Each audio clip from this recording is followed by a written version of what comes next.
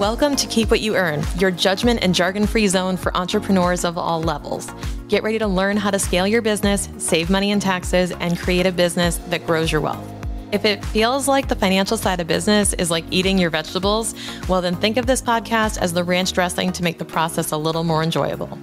My name is Shannon Weinstein. I'm a CPA and business owner on a mission to simplify money and empower others through knowledge. I hope this episode inspires you to take action, but remember that the information we share is for educational purposes only and is not individual tax advice. Now that we got that out of the way, let's start the show.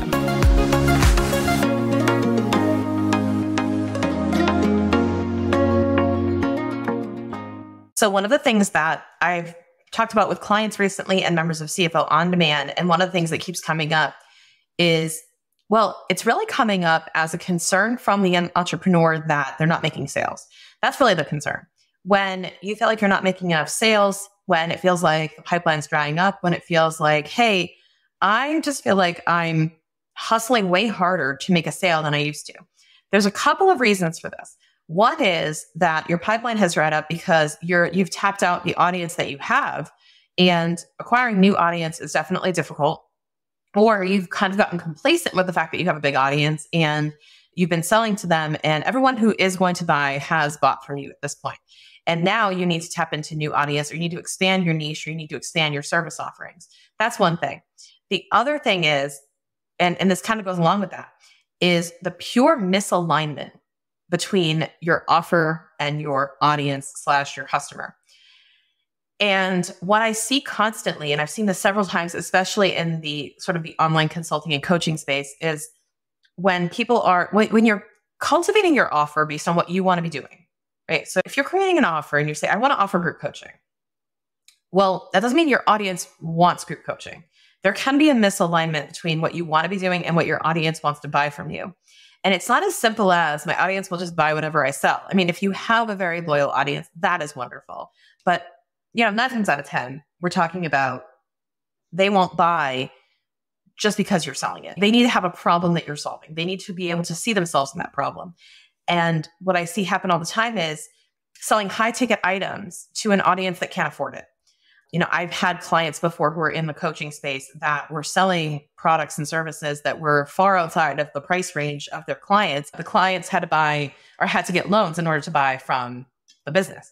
So it's really important that you understand the purchasing power of your core audience. You understand the, pr- the price point that they can afford.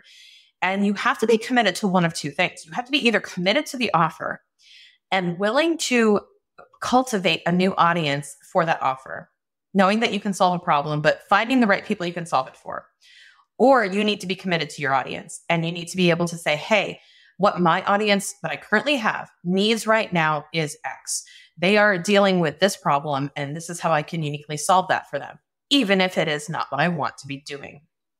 So there is a mix there of a compromise, and you have to decide what you're willing to commit to.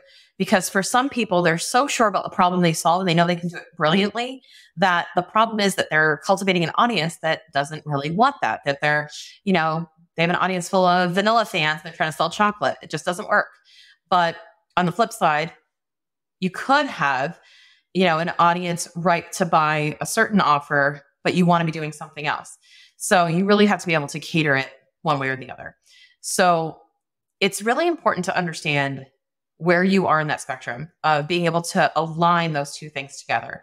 I find that when there's the lack of self awareness of this, it can lead to so many different issues in your business that perpetuate because you're not performing market research. This is one way you can sort of combat that misalignment is you can do market research frequently, even when you're not releasing a new product. And this is something that I've been mindful of lately is even when you're not launching a new product, even when you are not really actively selling, right? You're not, you know, digging through a pipeline. You should be doing almost constant market research by talking to your audience, talking to your ideal customers and saying, how can I make this better? How can I iterate it? What else can I do? And your current customers as well, asking your customers what their favorite and least favorite features of your product are, because that will tell you where they see the value and where you can lean into the value to make it even more valuable and even more of a high price point. So that's really important too. The more self aware you are of where you stand in that spectrum of alignment to your audience, and the more you understand your audience, that is going to be the gateway to figuring out and hacking the sales system. It's not, you know, sales copy. I mean, that helps, but right, this is just the dressing on it. Is it's not the sales copy, it's not a killer landing page, it's not a social media post. It is ultimately at the core. Does your offer truly align with the audience you're selling it to? And if it does, fantastic. If it, if you're struggling with sales, this could be your issue. And I'm going to challenge you that if you feel like this is happening to you, that you take a good hard look at really who's in your audience, who is really designed for your offer, and try to bridge that gap somehow. Mm-hmm. That's really going to help you succeed in your sales and drive your revenue. Not to mention, really give you a ton of clarity in terms of what direction to go and strategically in your business to grow. I want to tell you about an entrepreneur that I know who was struggling to cross beyond 300,000 in revenue, and it felt like she was always hitting this ceiling and couldn't break free from it. She knew she had to make more, but also had to hire more people, and she was way too scared to hire and spend all her money investing in that team. Almost everybody struggles with these types of decisions, but not everybody has access to a fractional CFO to create the plan and the projections that show the path to your next stage of business.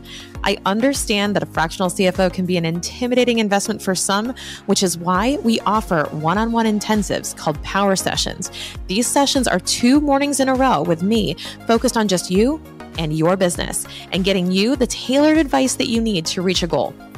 Whether it's creating your goals and projections for the year, forecasting your cash flow, or developing a compensation plan for your team, a CFO Power Session can help you get clarity on those burning questions holding you back from making the decisions that you need to make. Spots are limited as I typically take on only two per month. So click the link in the show notes now to schedule a free call with me and learn more.